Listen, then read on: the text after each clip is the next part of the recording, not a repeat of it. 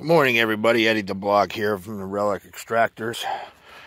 Coming to you Sunday, October 31st, 2021. Halloween for all you pagans out there.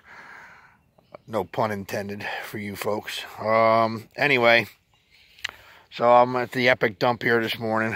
It's about 7.30, quarter to 8. And uh, haven't been here in almost two weeks. And this is my buddy John's hole that he was working on. Um, he couldn't make it. He's out in Connecticut helping uh, his girlfriend move her mother out of her house. Um, Jimbo couldn't make it either.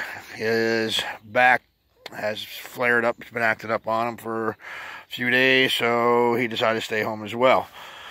Hopefully, uh, Hunter from Eastern Outdoors will be with us a little bit later on today, early this afternoon. I'm going to try and stick around until he gets here. Uh, Andy should be here very shortly. And um, so I'm going to get into cleaning this out here. Look, you know, like neither of us have been here in a couple weeks, almost almost two weeks. And you can see where the all the rain that we've had just kind of washed this whole edge right in down into the hole here right there. You can see where the dry stuff is up underneath, and then this is still wet. So I'm going to get to it, clean it out, make a little room in here, and uh, we'll see what we get, and we'll get back at you when we find something. All right, guys. About 15, 20 minutes into cleaning out over here, so I just started shaving the edge. And I'm going to try and go up a little bit because it's kind of coming back towards my backside. And uh, first bottle. And we're going to see if we can pull it right here, right now. Yeah, it should come out. Don't know what it is yet. Probably common.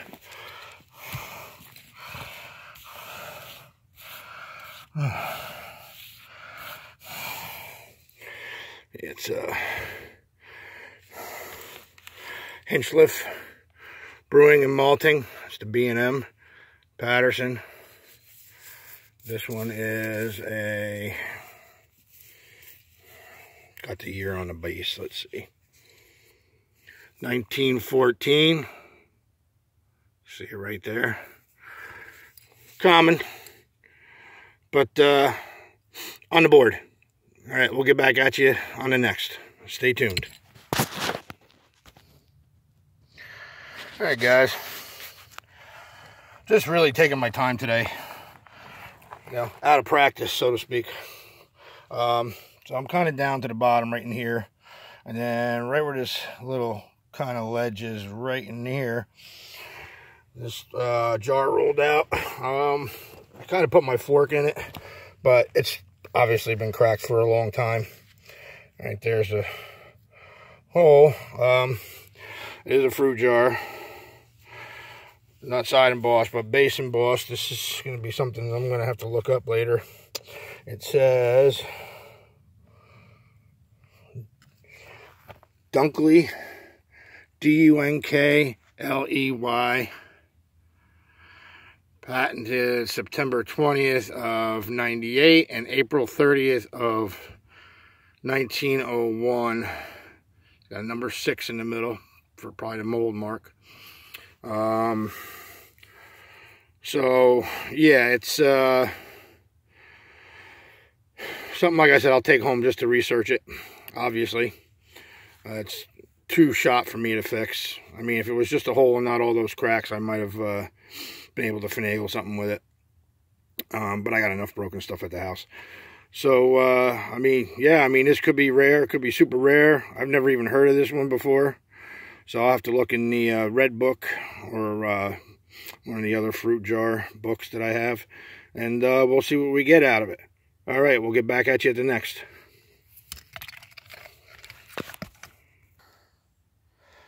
All right, guys.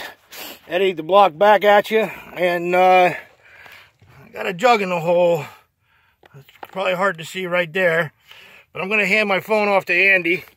and I'm going to chisel around it. He just showed up. He barely got started, and I pulled him away from his hole. So he's a little mad already. All right. So I'm going to hand Andy the phone. He's going to try and uh, here we go. catch me live here. Get down here. Here we my, go. With my fork. and uh, let's see what we can get. And for those of you who forget what I look like, there I am, because you're always too busy seeing bottles and not my face. Show us the bottles. Yeah. I know, my face is ugly, your bottles are beautiful. Okay. All right, so right in here, I almost put the fork in it too. I was like, I don't know if it's broken or not, but it's like, this is like pretty much the bottom of the hole here too. Some wire there. Let's see if it's another piece of glass right there. It is. There's a bottle right there too. looks like it might be a hutch right there. All right, let's see if I can do this first. It seems, even though it's bigger, it seems to be the easier one to. Yeah, this little med just fell out. Ooh, I'm gonna have to fall down your hole here. Kemp's balsam, common but nice. I'll tell you that up there for now. I was just telling Andy when he got here, we yakking for a couple minutes. I said, it'd be nice if I dug a crock or a jug today. I haven't dug one in a while, and five stabs later, here it is. Somebody was listening to me. Somebody's on my side today. Now I just hope it's not broken. Let's see. It's not a- Maybe that bottle is going to come out first. A lot of clam shells and oyster shells down here. In the middle there too. Jeez, that might be the hand. No, not the hand. That would have been on something else. And again, you never know. It looks like it could have been the handle, huh? Let's see.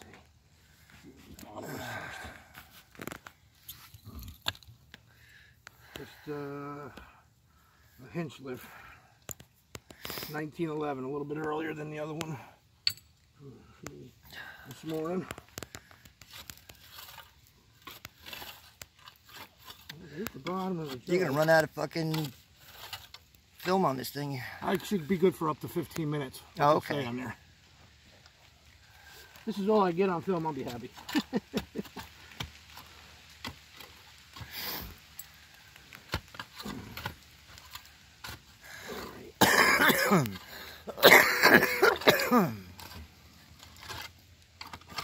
There's the top. The top's on it.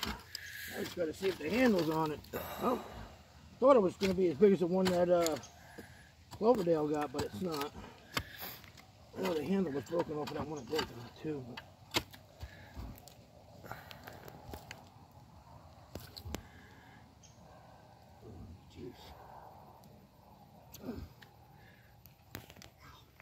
I still got that. My thumb is still jammed too, so it's hard to grab stuff. been a nemesis the past couple of weeks.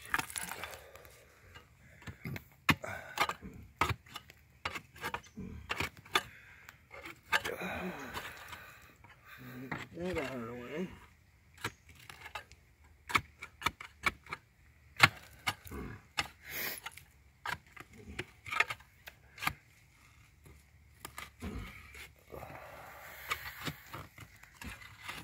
Well, even want to move, Andy. What's that? Shouldn't even want to move. I don't know. What is it, like a three gallon? Yeah, maybe two. But that tells me that the handle might be on it. and It's not. I mean, it's not moving at all. You know. Mm-hmm. Maybe the handle's grabbed in the ground on the back side. There we go. Yeah, and the handle is broken. Still, nice. Here we go. I get that milliput that uh, Eric hooked me up with. Then I'll make a handle. I'll drill a couple holes in that and put a wire in it. And Yeah, jug's a jug. sweet. All right, man. All you gotta do is hit that button. It'll pause. Same one. All right, guys. After the jug, yeah, I've got uh, pulled three more uh, pre-prohibition beers, two more uh, Hinchliffe Brewings, 1911, and the aqua one in the middle is a Ballantine's ale from uh, Newark, probably around the same time period, 1910 and 1915. Pre-prohibition beers, um, common. So I hit like a little pocket right down in there, and uh, I'm going to clean it out and keep moving on and see what we get. Stay tuned. All right, guys. See a little bit of dust falling here off my hat. Um, I'm just getting ready to go out and take a break. And this right here is like a one of those enamelware pots. And bottles have been falling out of it since I started cleaning it. But then this right here, that amber, it's got a recessed panel on it. I just can't quite reach it yet. And I'm thinking it might be a Paine's celery compound. So I'm going to take a quick break and then uh, we'll get down into it and we'll see what we got. Stay tuned.